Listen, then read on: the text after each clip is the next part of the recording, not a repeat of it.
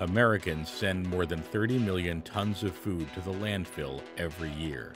But as the saying goes, one person's trash is another's treasure. Really smelly treasure. I mean, we're not dealing with uh, Bed Bath and Beyond. These are the smells of nature. Welcome to Heartland Biogas, a facility in rural Colorado that takes food waste from all over the state and turns it into electricity. The waste comes from grocery stores, from uh, cafeterias, from uh, restaurants, packing houses that meat preparation, uh, dog food or, or pet food manufacturing facilities, food processors, just about any place that has a food-based waste. The process Heartland uses is called anaerobic digestion. And as the name implies, it works just like our human digestive systems by breaking down food into energy, in this case, electricity. The food waste that comes into the facility is separated from any packaging, chewed up into a more digestible state, and mixed with bacteria in one of Heartland's 1.7 million gallon holding tanks.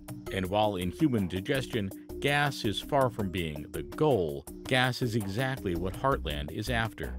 Remember the smell from before? It's methane, and it's a great source of renewable energy.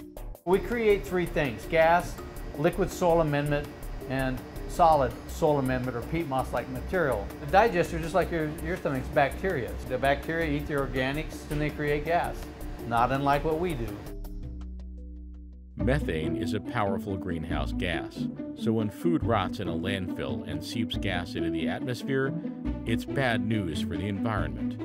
In fact, if global food waste were a country, it would be the world's third largest emitter of greenhouse gases. The methane made in Heartland's digesters is pumped into an interstate pipeline, where it can be accessed as a source of clean, renewable power, all while cutting down on harmful emissions. The Vast majority of the materials that we process were originally landfilled or disposed of. We can process up to 1,200 tons a day. Of, that's a really good sized landfill. If you're doing 240,000 tons a year into a landfill, that's a lot of waste. And so this is a very efficient and uh, uh, impactful way to recapture that resource.